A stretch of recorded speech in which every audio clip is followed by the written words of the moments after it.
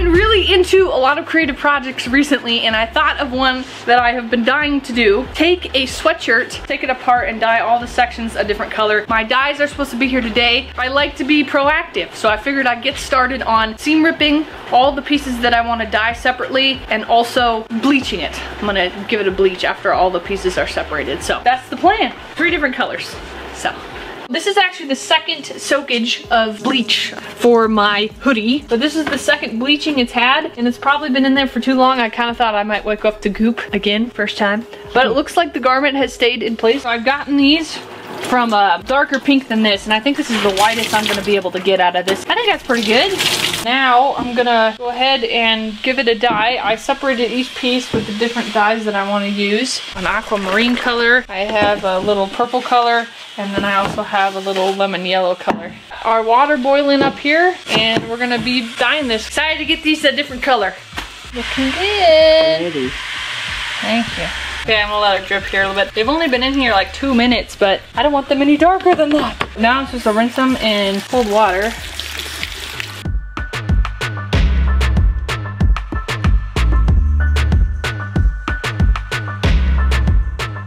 Bryson grabbed a pair of his army pants. Oh, oh yeah.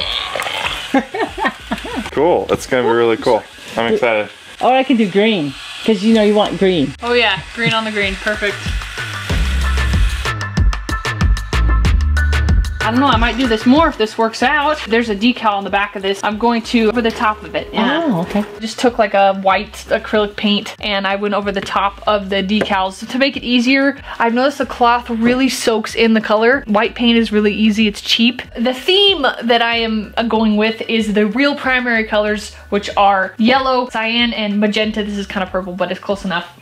Just a wee more information before we continue. When I say the real primary colors, I mean cyan, magenta, and yellow. Those are the primaries for pigments, paints, and dyes. I'm not referring to RGB, red, green, and blue. That's light's primary colors, and that's something different. Thought I would spread the word as well and embrace the real primary colors. So that's what I have all sketched out here. I go over it, paint and my Poscas.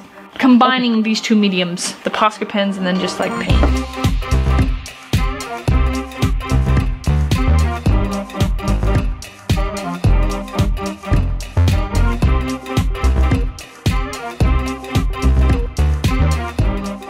The time has come to sew this back together, which is the scariest part of this project for me. Shae was nice enough to let us use her Singer sewing machine, really super fancy, and she recommended doing this in chunks so it's easier to conquer. We're gonna have to sew the arm to the front of the jacket and the arm to the back of the jacket, which is gonna be an interesting sewage. Shae has come to save us. Sewing, I've decided, is just not my thing. I feel like you you gave up, but obviously I'm here now. So where have you been, Shae? I got a job. Working full time, but she's around. Looks hard. Brand new purple pants. Okay, I'm done. The sweatshirt is all completed. I am super happy with it. I love all the different colors for the different sections. I am very pleased with this project. If you want to do a project like this too, please post a picture like on Twitter or Facebook. You can tag us. It'd be really cool to see what you do with your sweatshirts or your wardrobe if that's um, something that's up your alley. Uh, maybe you'll have a better time sewing it back together than I did. Well, I mean, it was easy for me. Everyone else did it. I got really frustrated. I'm easy going, so it was, uh, yeah, anyway.